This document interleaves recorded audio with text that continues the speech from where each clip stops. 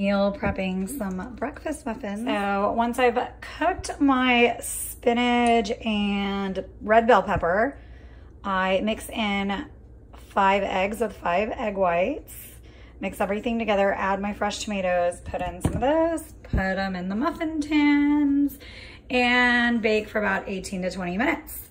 Mix 10 to 12 and you can freeze them and for about a month or so and then you just take them out and pop them in the microwave or the oven to reheat. So these are ready to go into the oven. And just like magic, they're done. So I'm not a chef, so they're not even, but whatever. They're tasty, they're super fluffy, if I can show you one.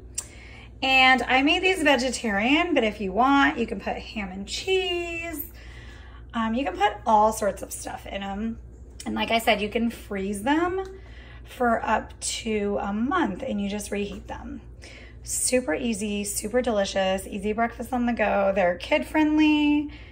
Um, yeah, everybody loves them. You just got to figure out what you like in yours. Like I said, I did spinach, red bell pepper, and tomatoes, but you can do, you can also do them with all egg whites. So you would just double up instead of doing five and five, you would, I would say, not a whole, you would probably do about seven whole eggs or should be enough, mm, possibly eight. Anyways, try them. Let me know what you think. Comment below. Be nice. Don't be a jerk.